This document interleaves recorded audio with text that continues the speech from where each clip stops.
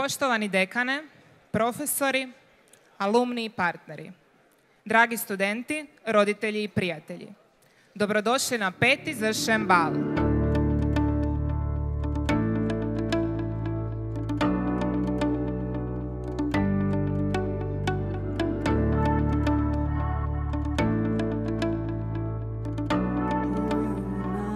Junačka, zemljo mila,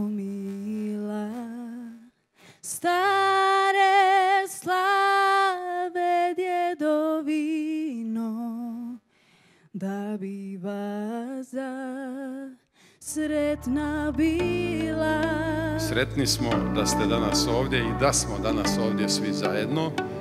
Vjerujem da će to biti jedno ugodno i druženje sa ponosom.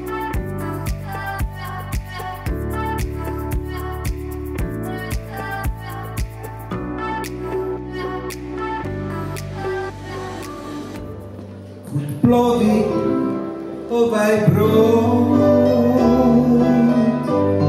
Kud ljude odnosi? I da li ko zna što more sprema? Kud vodi ovaj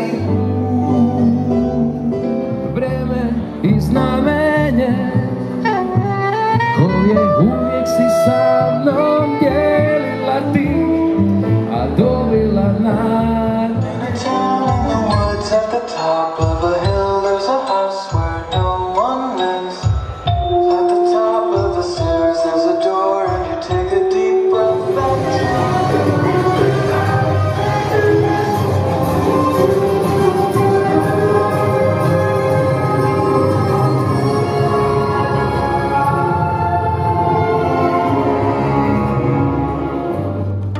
Super alumni nagradu najaktivnijeg predstavnika generacije koji trenutno radi na poziciji direktora u Karnetu, odnio je Ivan Šabić. Za mene je slučajem jedno posebno mjesto i rekao bih da išao od fakulteta, tako da u mom životu čovjek ima posebno mjesto i uvijek ću mu se pokušavati vraćati. Htio bih zamoliti Zagrebačku školu ekonomije i menadžmenta na ovoj lijepoj nagradi.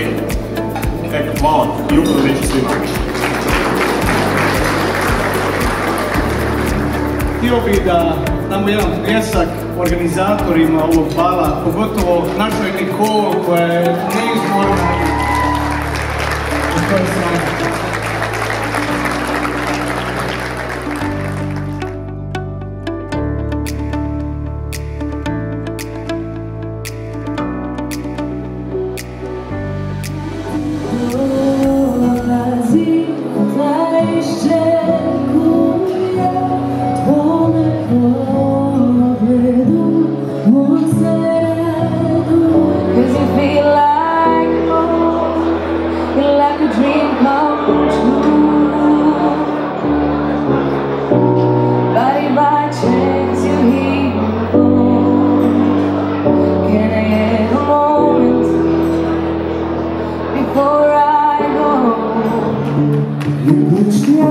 si Zbog ljubavi nije